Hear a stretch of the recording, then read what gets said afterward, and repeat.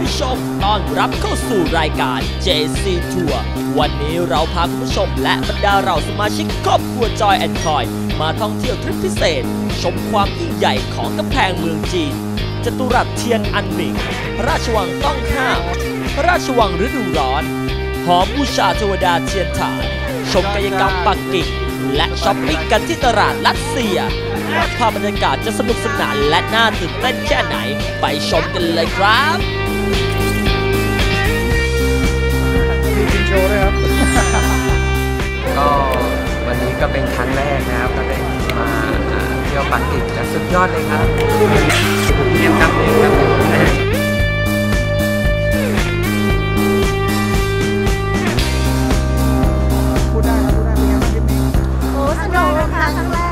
สองแล้วนะคะยังติดทุกทริมนะคะ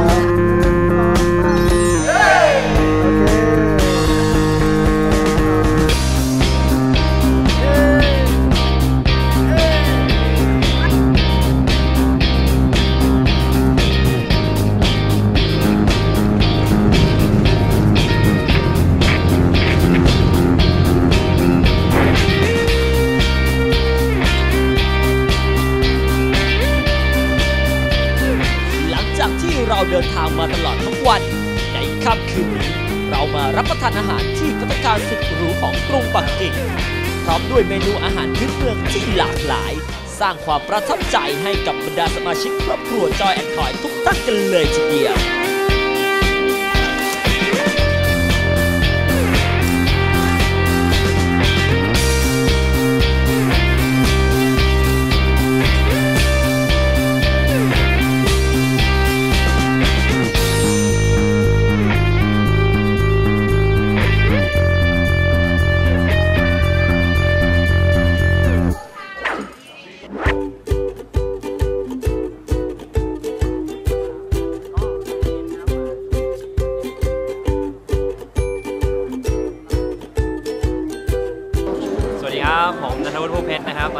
ก็จะมาเดินซื้อของนะครับที่ตลาด อะไรสักอย่างหนึ่งนี่แหละแต่ต้องบอกว่าตอนนี้หนาวมากนะครับ ก็ตอนนี้รออสมาชิกครบอยู่แล้วก็เดี๋ยวเราจะได้เดินไปซื้อของกันนะครับ แล้วก็บรรยากาศก็คนเยอะมากๆเลยดู ตอนนี้คนแบบเดินกันเยอะมาก แล้วก็อากาศเย็นมากนะครับ แต่ก็ต้องบอกว่าอากาศดีนะครับ ถึงแม้ว่าจะหนาวไปหน่อยแต่ว่าบรรยากาศใช้ได้เลยนะครับ ก็เดี๋ยวเราไปดูกันข้างในเลยว่าบรรยากาศข้างในเป็นไงครับมาเดิน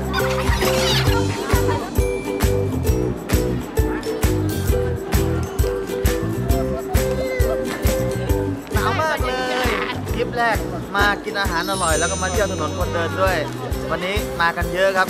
กี่ร้อยคนนะร้อยกว่าคน มาตามมาสมทบกับเพื่อนฝูงอีกประมาณ 400 กว่าท่านครับวันนี้มาเยี่ยมปักกิ่งเป็นเมืองหลวงของประเทศจีนครั้งแรกดีใจมากครับได้มาเที่ยวกับบอสประธานดรสมชายขันธิวิหาครับ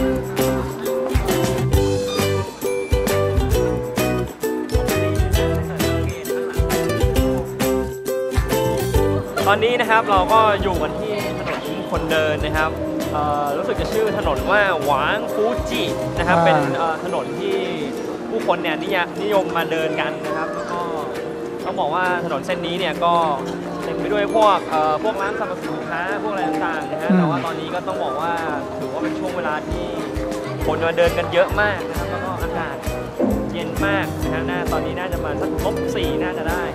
นะครับแล้วก็ถ้าเกิดว่าสังเกตเนี่ย ข้างหน้านี่ก็จะมีเป็นพวกร้านค้าอะไรนะฮะอยู่สองข้างทางเต็มไปหมดเลยนะฮะแล้วก็คนก็เดินสวนไปสวนมานะฮะก็เดี๋ยวเราก็จะเดินเที่ยวกันที่ถนน walking street นะฮะต้องบอกว่าเขาบอกเป็นไฮไลท์เลยอันนี้ของคลิปนี้เลยนะครับแล้วก็ถ้าเกิดสังเกตขึ้นไปด้านบนก็จะเป็นหอนาฬิกานะครับ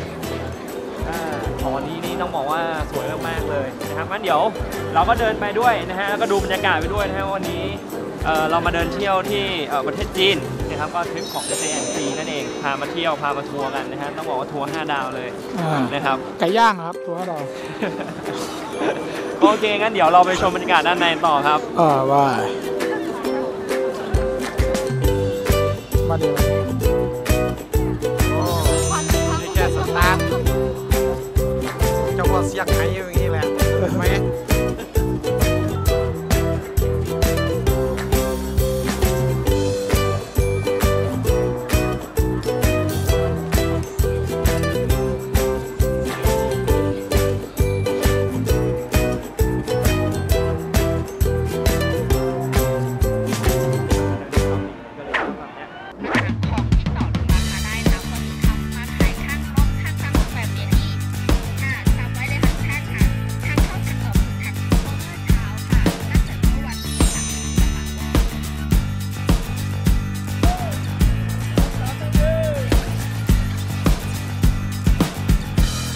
ที่นี่เนี่ยเขาเรียกว่าเอ่อหอฟ้าเทียนฐานใช้สำหรับทำพิธีบูชาอ่าบูชาเทวดาฟ้าดิน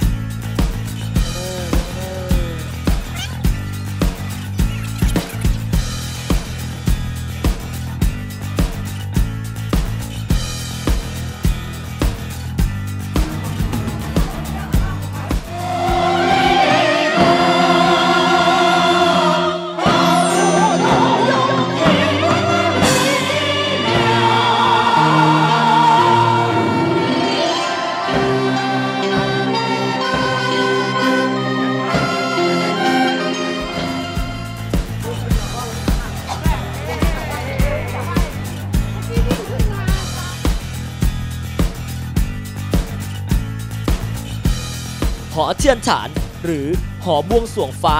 เริ่มก่อสร้างเมื่อปีคริสตศักราช 1420 เป็นสถานที่ประกอบพิธีสักการะบูชาฟ้าและดินของกษัตริย์แห่งราชวงศ์หมิงและชิง เพื่อบวงสวงฟ้าขอฝนให้พืชผลในไร่นาอุดมสมบูรณ์ และให้ประสบนิกรอยู่กันอย่างร่มเย็นเป็นสุข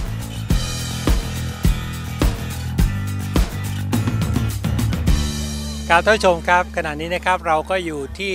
เมืองปักกิ่งนะครับประเทศจีนนะครับ แล้วก็คณะของเราวันนี้เนี่ยก็มาเที่ยวหรือจะบอกว่า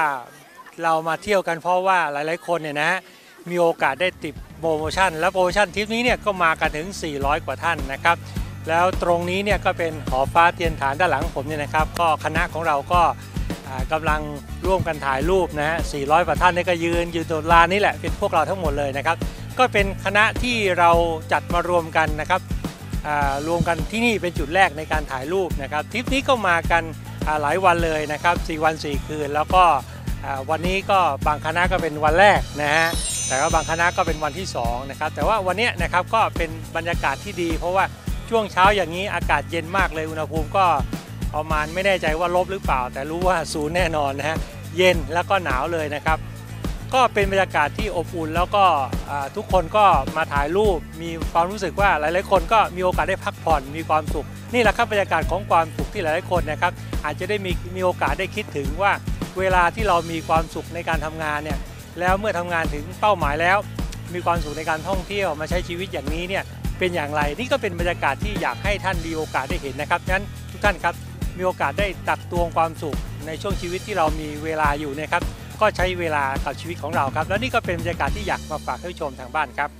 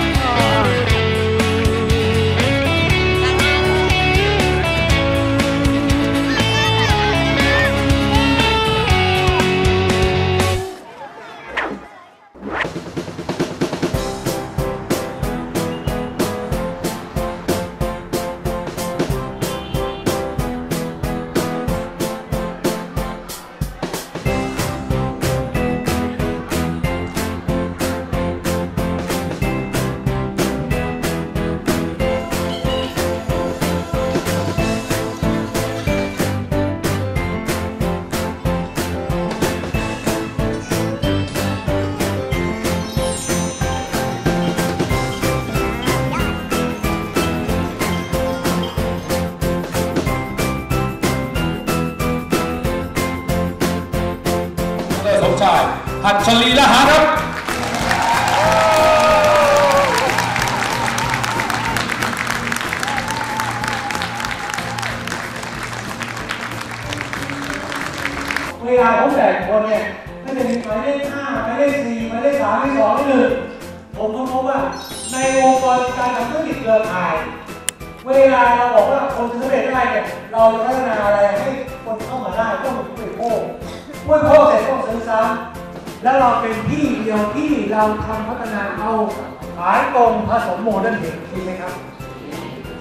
รูปแบบที่ไม่มีใครเหมือนไม่เหมือนใครถามว่ารูปแบบเนี้ยแข่งได้ไหมวันนี้ถ้าเปรียบเทียบในอดีตในอดีตก็บอกว่าทำไมเครื่องบินถึงลอยบนฟ้าได้ วันที่คนคิดเครื่องบินครั้งแรกเขาพูดจะไม่มีใครคิดว่ามันเป็นจริงแล้วคิดว่ามันเป็นไปไม่ได้ก็เช่นกันครับ ในอดีตผมพูดว่าเราจะทำขายตรงสะดวกซื้อ ตอนเราทำขายตรงแล้วมีสะดวกซื้อผมว่าจะเป็นไม่ได้ไงวันนี้ยิ่งกว่าขายตรงสะดวกซื้อเพราะมันทำมากกว่าขายตรงสะดวกซื้ออีกนะครับเพราะเรามีทั้งค้าปลีกค้าส่งขายตรงแล้วเราจะทำห้างเราเริ่มมีห้างหรือยังเริ่มมีห้างต่อไปเราสามารถทำให้ทุกคนเป็นทูเพื่อนที่ยากเป็นระบบแบงค์เพื่อนที่ยากเป็นทุกอย่างที่คุณอยากจะเป็นได้เพราะนี่จอยก่อน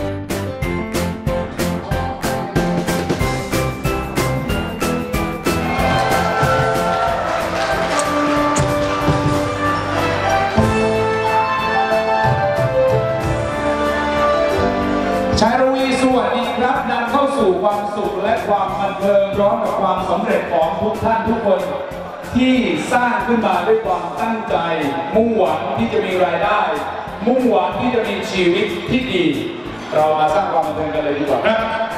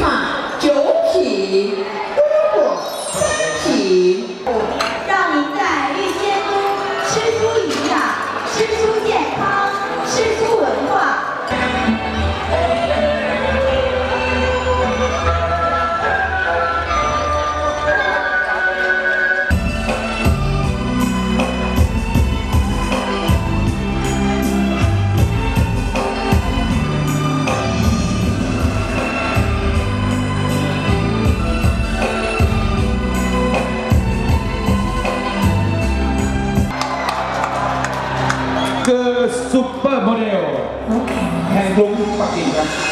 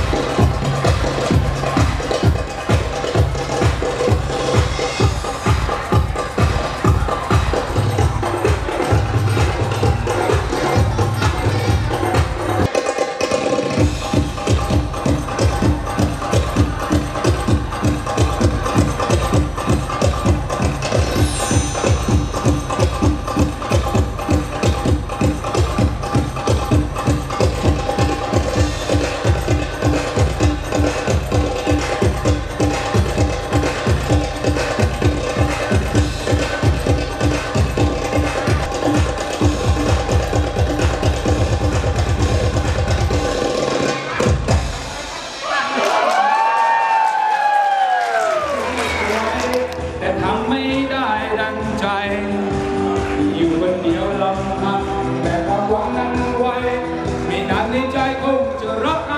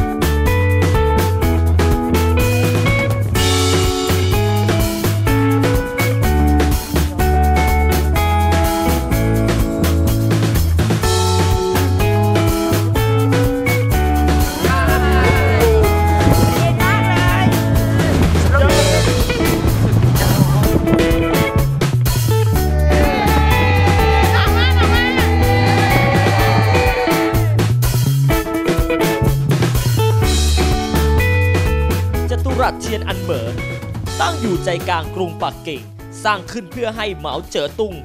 ประกาศให้ประเทศจีนเป็นสาธารณรัฐประชาชนจีน เมื่อ 1 ตุลาคมคริสตศักราช 1949 หลังจากที่ประธานเหมาเจ๋อตุงยึดประเทศจีนได้สำเร็จ พร้อมกับประกาศการเปลี่ยนแปลงระบบการปกครองของจีนเข้าสู่ระบบสังคมนิยม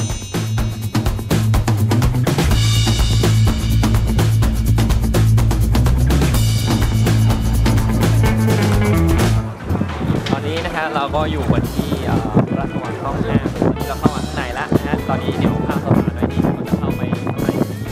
ห้องเต้อยู่นะนะครับเดี๋ยวเราตามไกด์ไปเลยแล้วตอนนี้เนี่ยคนเยอะมากแล้วก็อากาศหนาวมากมีลมด้วยอะไรด้วยก็เดี๋ยวพาไปดูบรรยากาศข้างในนะครับว่าบรรยากาศข้างในที่ฮ่อห้องเต้เขาอยู่กันจริงๆเนี่ยเป็นยังไงแล้วก็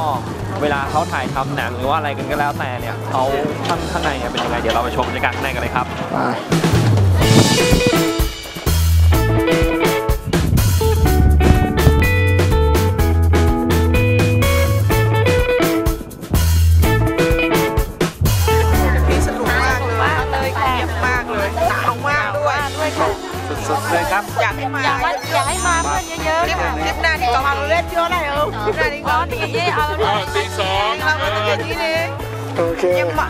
จะตียนี่เนี่ยแล้ใครข้อนะအခုကျမတို့ PK မှာအေးအေးတဲ့ now ဒီစင်မှာ promotion ကြတော့ကိုရီးယားများများလာတော့အယောင်900လောက်လာပါကျေးဇူးရ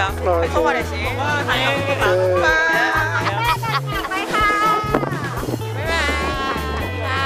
ยอดมากเลยนะคะ อยากให้มาสัมผัสบรรยากาศที่สุดยอดมากเลยที่ปักกิ่งนะคะ มากับเจซีกิมลุรีสบายค่ะ คลิปหน้าพบกันที่เกาหลีนะคะ สุดยอดมาก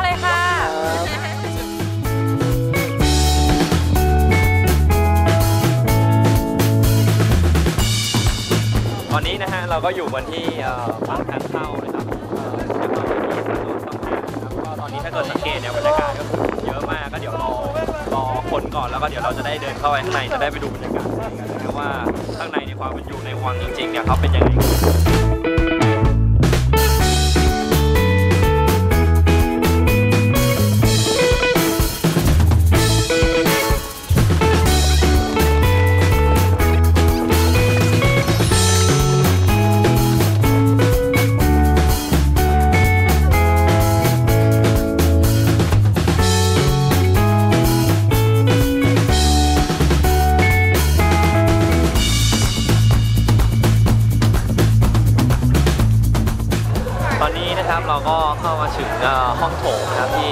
ท้องเต้เนี่ยสมัยก่อนเนี่ยเขาใช้ว่าราชการนะครับ ก็แต่ว่าเขาเนี่ยไม่ให้เราเนี่ยเข้าไปข้างในก็คือเราจะยืนได้ข้างนอกนะฮะข้างในเนี่ยก็จะเป็นพระราชบัลลังก์นะฮะของห้องเต้ แล้วก็รอบๆเนี่ยมันก็จะเป็นห้องโถงนะฮะก็คือให้คนเนี่ยมาเข้าเฝ้าแล้วก็ห้องเต้ก็ว่าความนะฮะเขาบอกว่าคนที่จะขึ้นมายืนณตรงนี้ได้เนี่ยถ้าเป็นคนจีนสมัยก่อนเนี่ยจะต้องเป็นระดับ1นถึงสเท่านั้น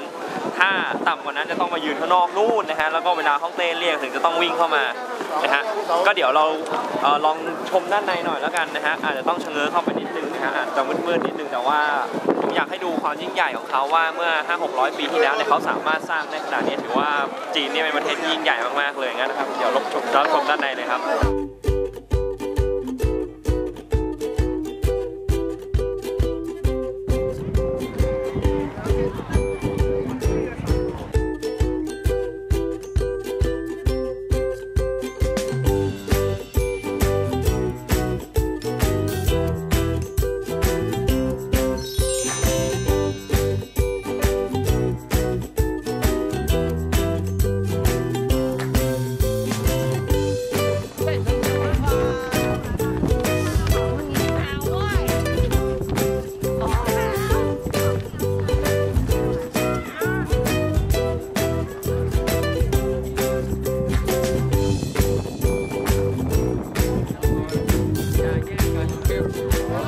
อดมากเลย อากาศโอ้โห สุดยอดหนาวมากนะครับแต่ก็ประทับใจมากเลยนะครับ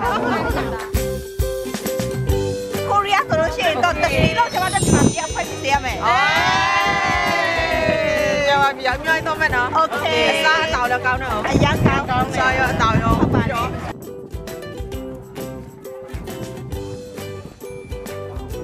เลคคอร์ดสามสองไป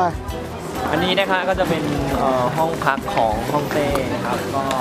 เวลาห้องเต้ว่าความจากตรงนู้นเสร็จเรียบร้อยแล้วเนี่ยถ้าเกิดว่าห้องเต้เขาเหนื่อยหรืออะไรก็แล้วแต่เนี่ยเขาก็จะเรียกคนใกล้ชิดคนสนิทเนี่ยมานั่งคุยงานกันตรงนี้อีกรอบหนึ่งเดี๋ยวเราจะเดินเข้าไปดูข้างในนะครับก็จะเป็นห้องที่นางขนมที่เขาถวายตัวเนี่ยเขาจะต้องออกมันจะมีประตูซ้ายกับประตูขวานะฮะด้านนู้นกับด้านนี้นะฮะเดี๋ยวเราจะเดินเข้าไปดูด้านในกันว่าข้างในเนี่ยมันเป็นยังไงอะตามมาเลยครับ